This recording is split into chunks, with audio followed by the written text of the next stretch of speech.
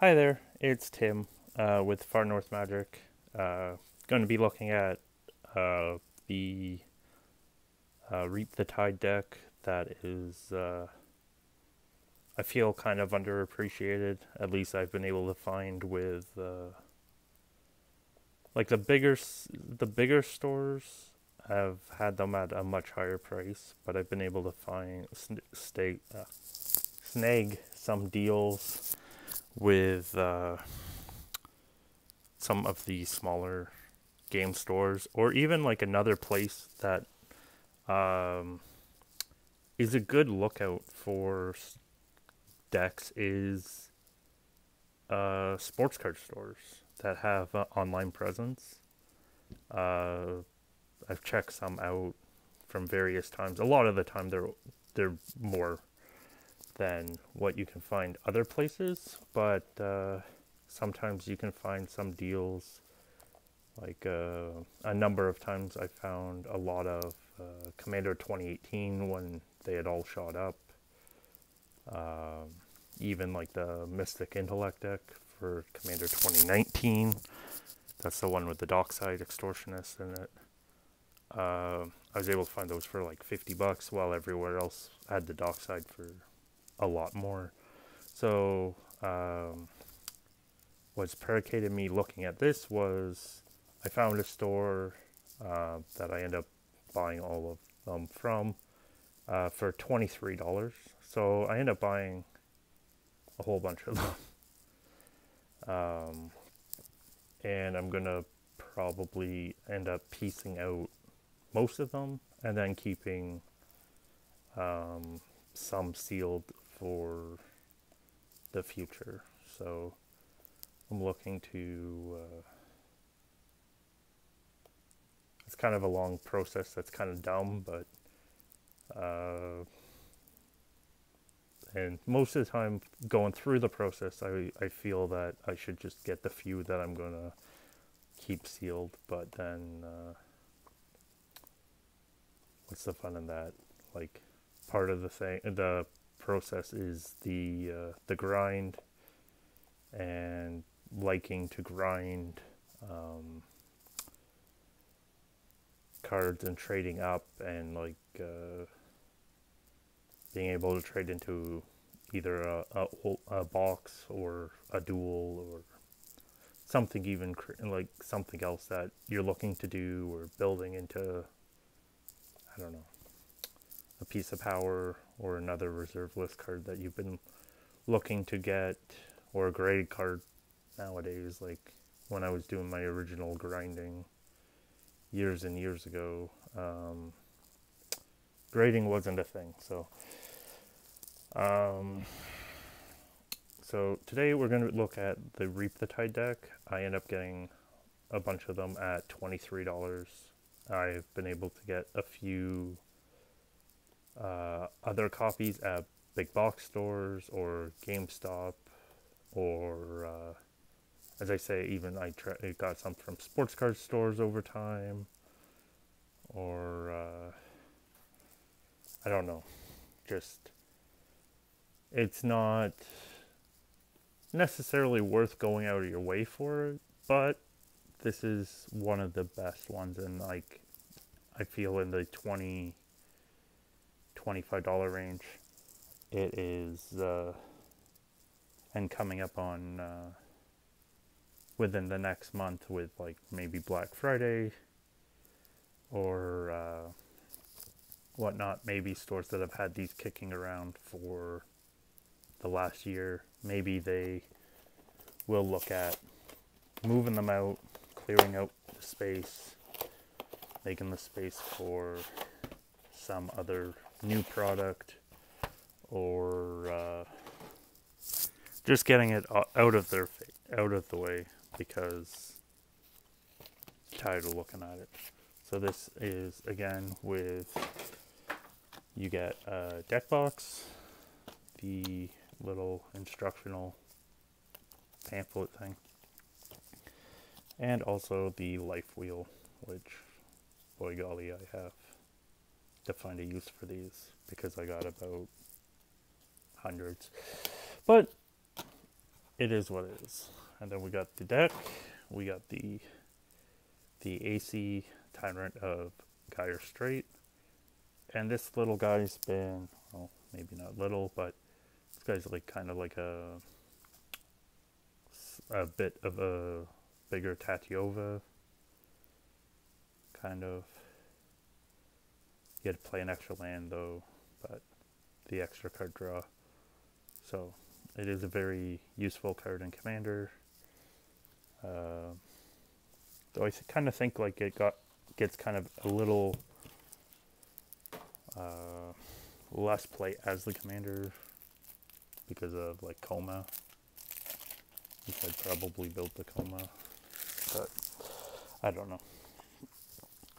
So this deck has like the most amount of cards that I would consider like useful for tearing apart, let alone like cards that just seem to have like really good uh, value, even on like halfway decent buy list prices on uh, a bunch of them, just because they're staples. So I guess that's the thing with a lot of the green staples; they've come down, uh, but there's kind of like a floor. So, well, dropping. So we got like Arcane Denial starting us off, and that's one that's actually a decent card around a dollar.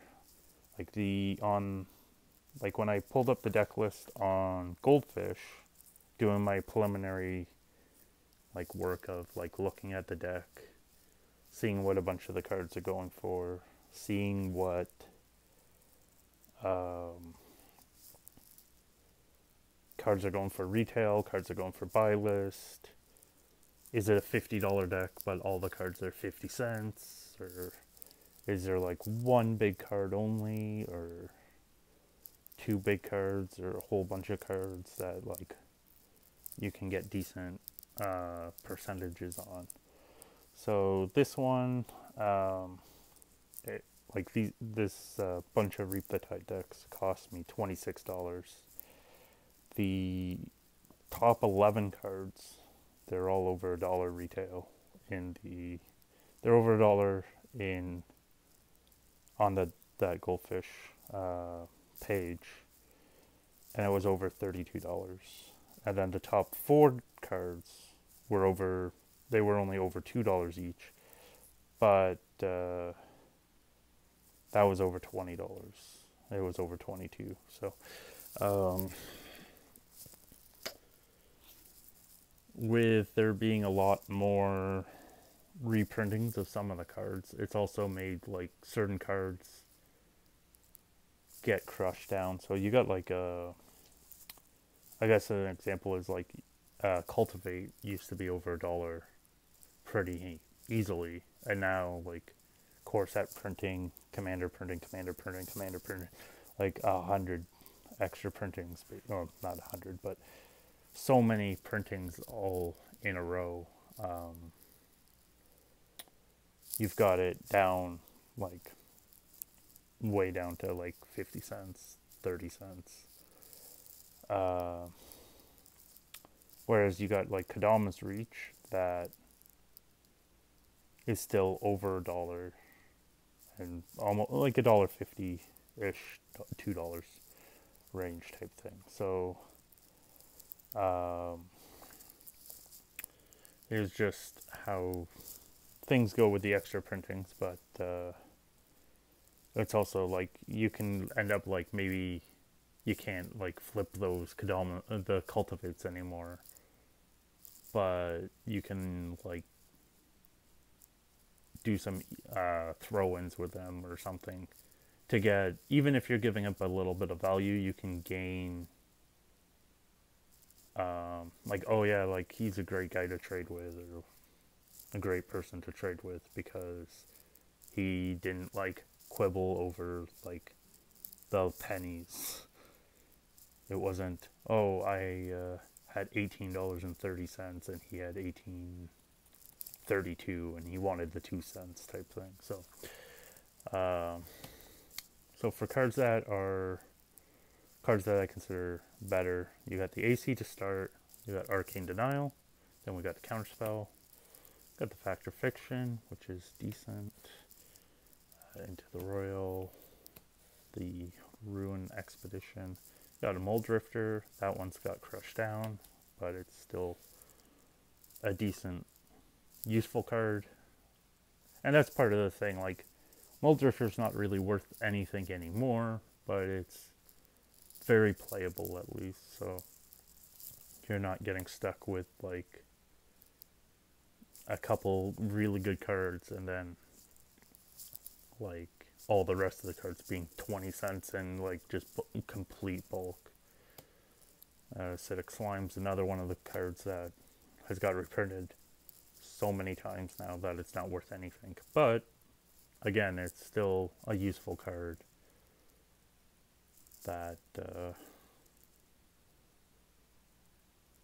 at least has some playable uh, playability. You got uh, Beast Within. That's again been kind of crushed down, but it's still pretty uh, pretty good. You got Cultivate.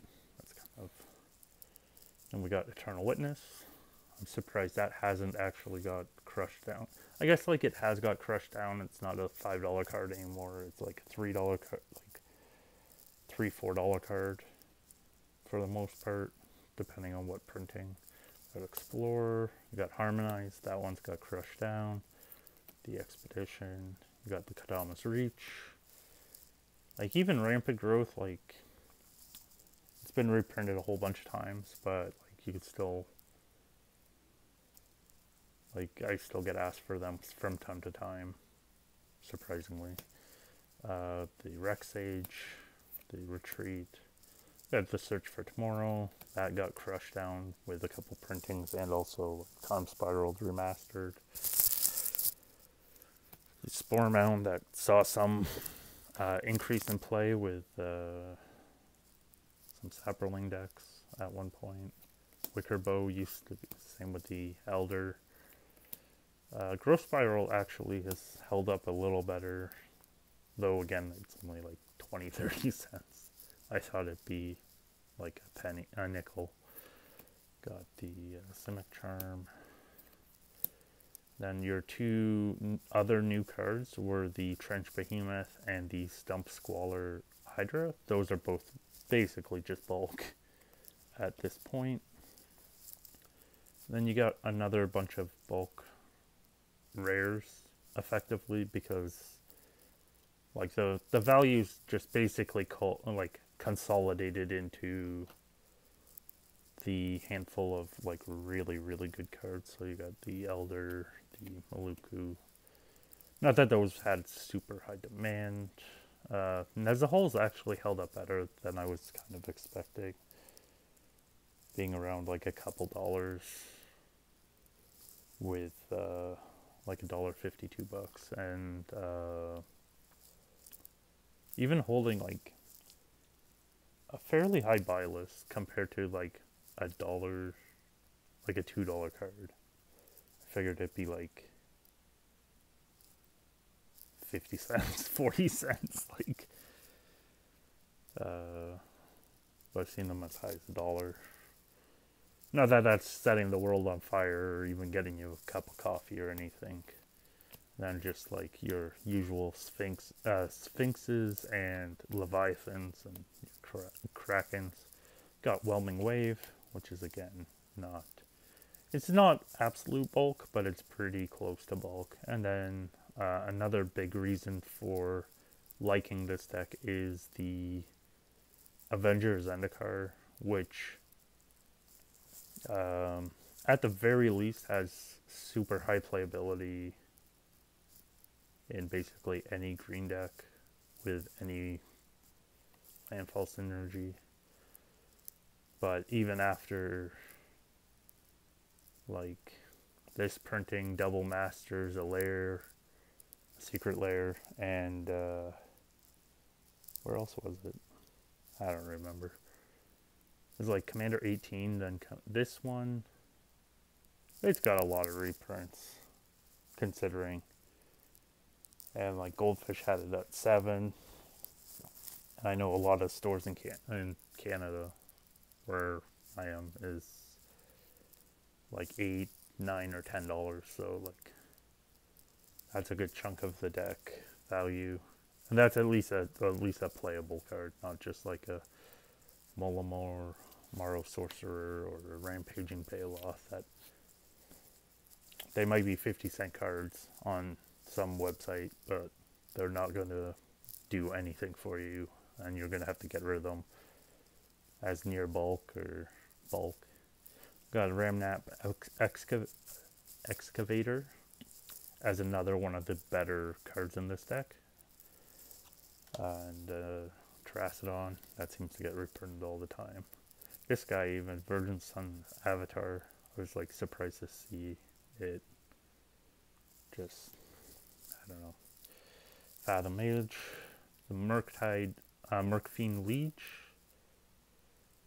Uh, that was a really expensive card at one point with uh, the, just the Eventide printing, but then has since got uh, was put in like Commander 13, then the uh, then an anthology, then now this. So it's gonna take a long time to rebound, and I figure it will just be one of those like relatively okay cards that gets uh, just put in the reprint in every Simic or nearly every Simic commander deck going forward in that like kind of rotation. So it probably won't rebound. You got this. Guy. Why did they print this again? Spit an image, the Seer's Sundial, and then we're back to some common, uncommon artifacts. Like even like signets, they are not worth a whole lot, but you can still get some like throw in trade value for them or like sometimes the simics or uh, the signets are still 25 50 cents so uh, and then we got the Sol Ring and the Swiftfoot boots um, as being over a dollar to two dollars and we got the I, like the part of the main problem with these decks is the land base is just not that great. But you also get a Reliquary Tower, which is pretty good. Because it's like a lot of the time around two, three dollars for just a Reliquary Tower, which I would have thought like I would have thought it would have been a lot less with getting reprinted as many times as it has. But I guess just I have the like I don't use it in any of my decks, so I have that like as a blind spot, which is kind of unfortunate. And then we just got a lot of basics at the back, and then you got your tokens. So um, overall, um, I think um, if you can find this deck on a deal uh, with Black Friday and such coming up, I think it's gonna it's a steal. Um, just because there's a lot of value, and even if you just tear at the certain chunks that like you're getting. Um, a lot of cards that are useful other places. And uh, you're able to kind of get a package deal for a discount. Um, but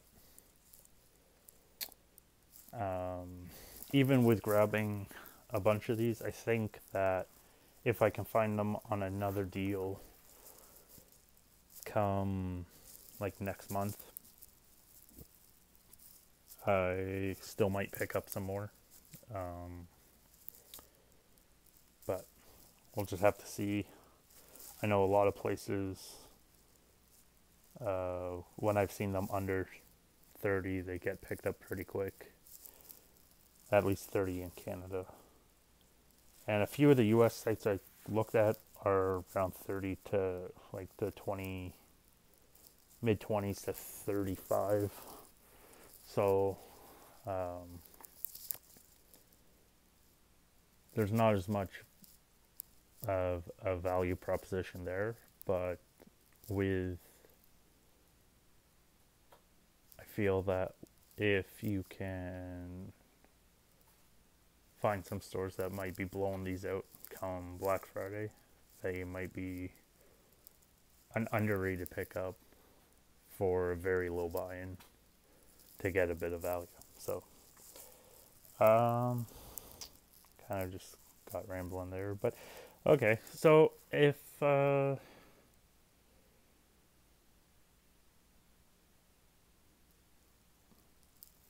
Um, I thank you guys for stopping by, and uh, I think there might be a couple, one or two more uh, specific uh, ones in this. I might try and find like just a one random thing every month or something after this like little flurry of them to I don't know if it be spotlight, but look at and uh, see as uh, something that might be a bit of an untapped potential for uh, for value uh, going forward. So if uh, you could give me any feedback, that would be appreciated. And I thank you all for stopping by and uh, just putting up with my ramble. today. So, uh, thanks again, and I hope you have a good rest of your day. Uh, take care, and uh, I hope you have a good day, and see you next time. Bye.